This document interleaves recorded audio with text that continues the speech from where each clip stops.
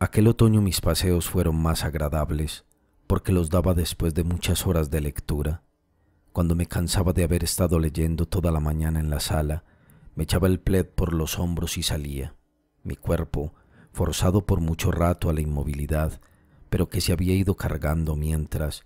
inmóvil de animación y velocidad acumuladas, necesitaba luego, como un peón al soltarse, gastarlas en todas direcciones las paredes de las casas, el seto de Tansonville, los árboles del bosque de Roosevelt y los matorrales a que se adosa Montjoba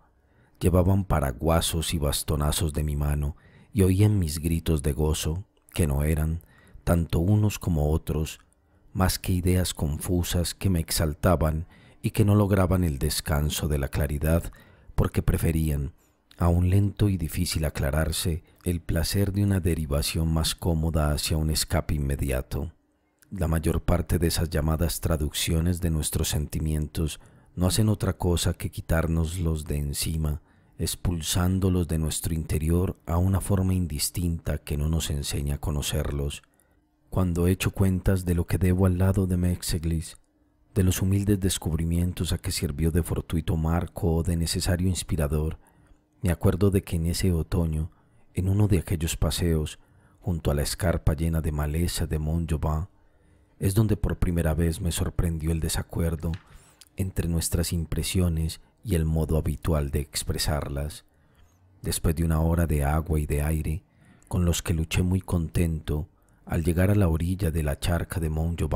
ante una chocilla tejada donde guardaba sus útiles de jardinería el jardinero del señor Bantaye, el sol volvió a salir y sus dorados, que lavó el chaparrón, lucían nuevamente en el cielo, en los árboles, en las paredes de la chocilla, en las tejas, todavía mojadas, por cuyo caballete se estaba paseando una gallina. El aire que hacía tiraba horizontalmente de las hierbecillas que crecían entre los ladrillos de la pared y del pulmón de la gallina, que se dejaban ir unas y otro a la voluntad del viento, estirándose todo lo que podían con el abandono de cosas inertes y ligeras. Las tejas daban a la charca, que con el sol reflejaba de nuevo un tono de mármol rosa en que nunca me había fijado, y al ver en el agua y en la pared una sonrisa pálida que respondía a la sonrisa del cielo, exclamé, Atisa, Atisa, Atisa, blandiendo mi cerrado paraguas pero al mismo tiempo comprendí que mi deber hubiera sido no limitarme a esas palabras y aspirar a ver un poco más claramente en mi asombro. Y también en aquel momento, y gracias a un campesino que por allí pasaba, con facha ya bastante malhumorada, que se le puso más aún cuando por poco le doy en la cara con el paraguas, y que respondió fríamente a mí, Buen tiempo para andar, ¿eh? Aprendí que las mismas emociones no se producen simultáneamente con arreglo a un orden preestablecido en el ánimo de todos los hombres. Más tarde, siempre,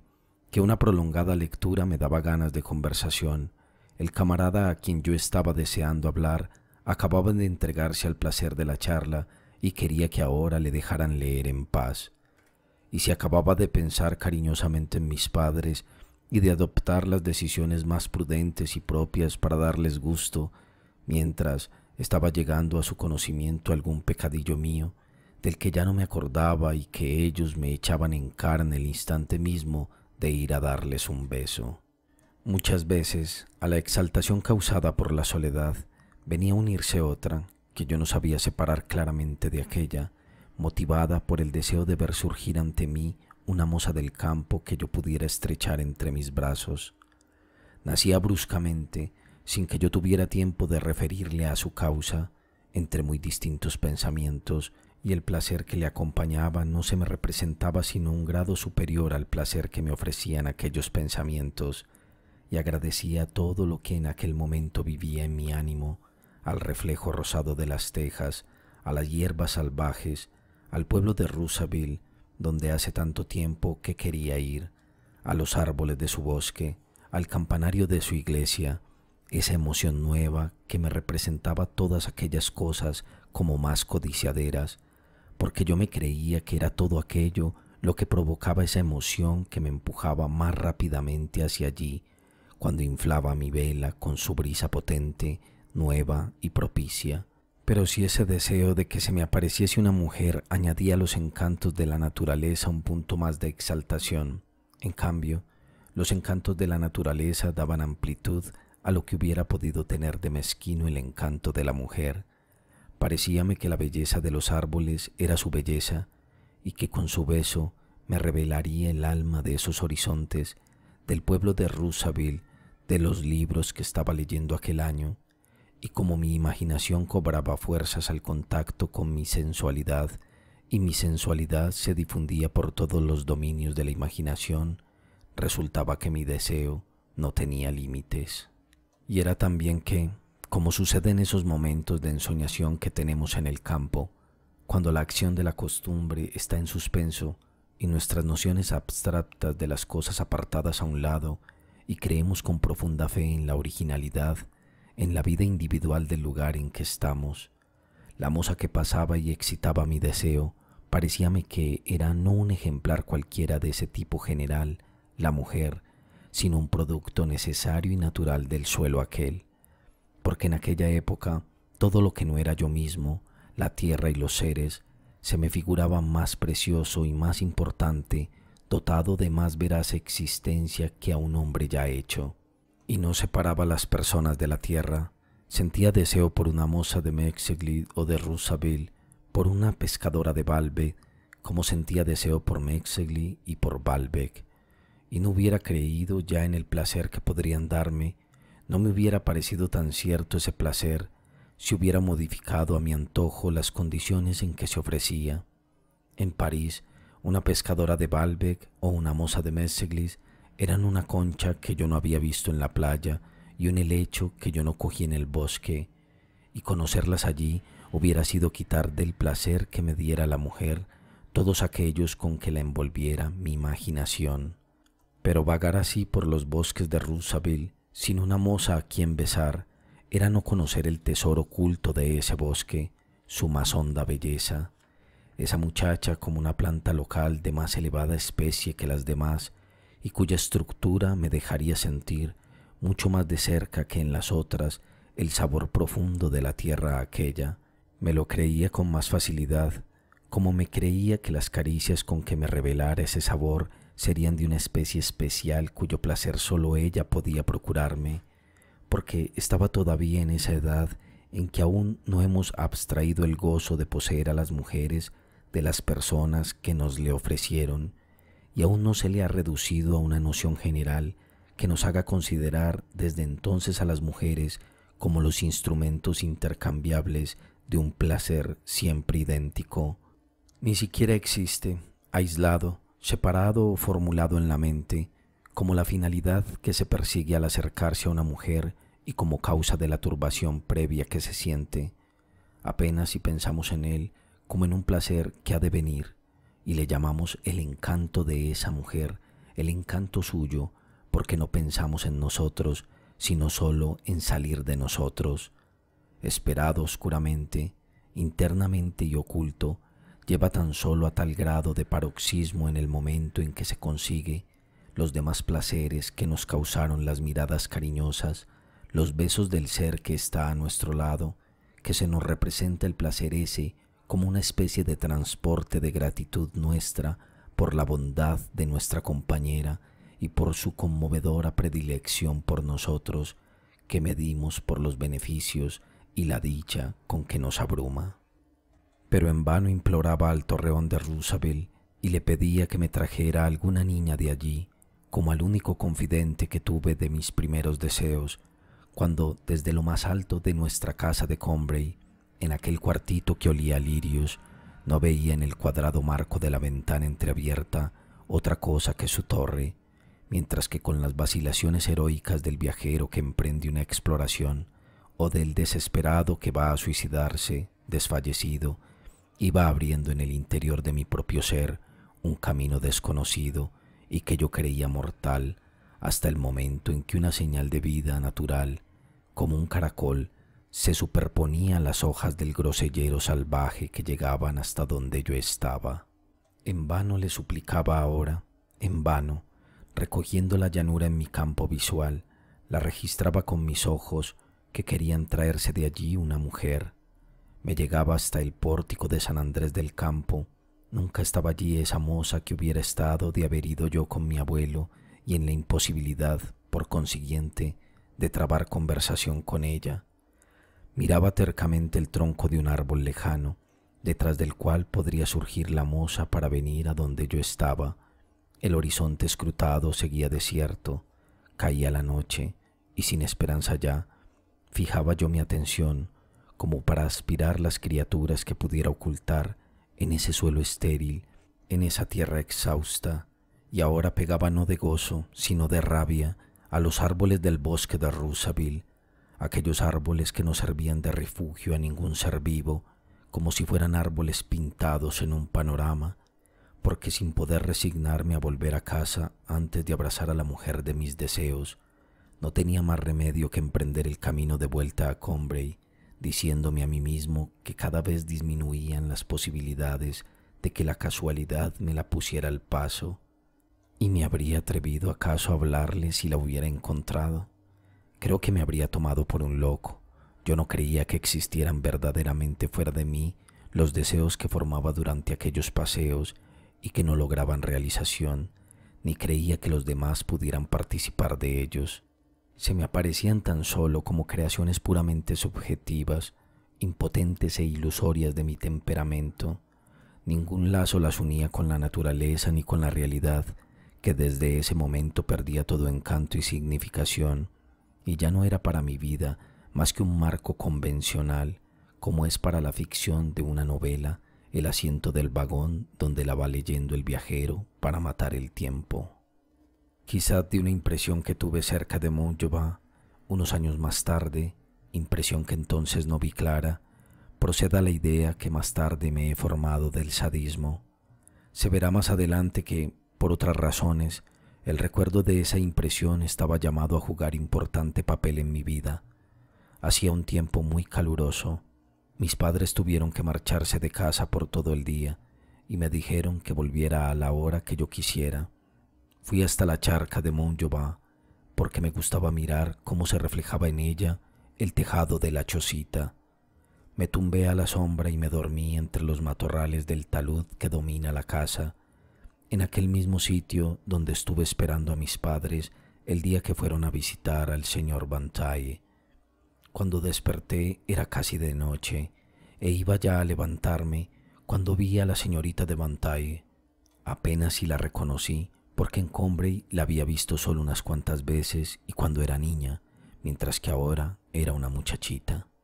que, sin duda, acababa de volver a casa a unos centímetros de donde yo estaba en la misma habitación en que su padre recibiera el mío y que ahora era la salita de ella. La ventana estaba entreabierta y la lámpara encendida,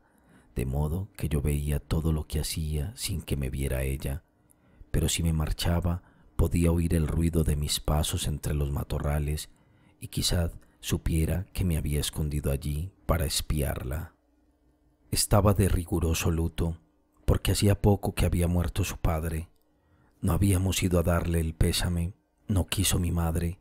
a causa de una virtud que en ella era lo único que limitaba los efectos de la bondad, el pudor, pero compadecíala profundamente. Se acordaba mi madre del triste final de la vida del señor Bantaye, absorbido primero por las funciones de madre y de niñera que cumplía con su hija, y luego por lo que ella le hizo sufrir, Veía el torturado rostro del viejo en aquellos últimos tiempos. Sabía que tuvo que renunciar para siempre a acabar de transcribir en limpio todas sus obras de los últimos años, pobres obras de un viejo profesor de piano, de un ex organista de pueblo, que considerábamos de poco valor intrínseco, pero sin despreciarlas, porque para él valían mucho y fueron su razón de vivir antes de que las sacrificara a su hija, y que en su mayor parte ni siquiera estaban transcritas, retenidas solo en la memoria y algunas apuntadas en hojas sueltas, ilegibles, y que se quedarían ignoradas de todos. Y mi madre pensaba en aquella otra renuncia, aún más dura, a que tuvo que ceder el señor Bantaye, renunciar a un porvenir de honradez y respeto para su hija, y cuando evocaba aquella suprema aflicción del viejo maestro de piano de mis tías, sentía pena de verdad y pensaba con terror en esa otra pena mucho más amarga que debía de tener la hija de Bantaye, unida al remordimiento de haber ido matando poco a poco a su padre. Pobre señor Bantaye, decía mamá, vivió y murió por su hija, que no le ha dado ningún pago. Veremos si se le da después de muerto y en qué forma. Solo ella puede hacerlo.